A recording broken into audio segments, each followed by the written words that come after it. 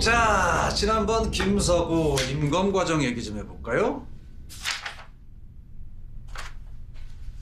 김서구 조영재 부작용, 나 이제 그놈이 먼저 알고 준비한 거죠?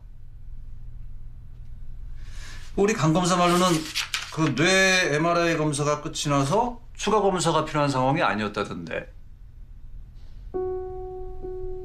김서구가 아나필락시스 쇼크를 일으키게 되면 MRI 때 찍은 사진 모두가 증거 능력을 잃게 될 테니까요. 김서구 구속 집행정지로 내보내려는 거 처음부터 나 선생님 계획 맞죠?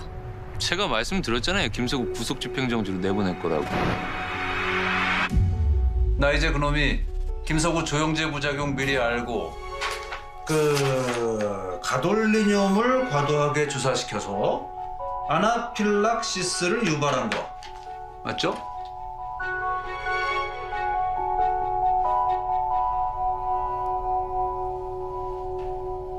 아니요. MRI 추가 검사를 위한 가돌리늄 제투여에는 문제가 없었습니다. 한 선생 나이제 선생님도 저도 김서구 병명을 정확하게 판단하기 위한 결정이었습니다.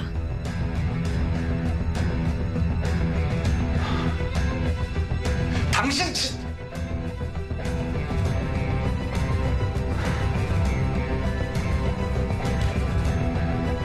지금 그 말 의사로서 책임질 수 있겠습니까? 네,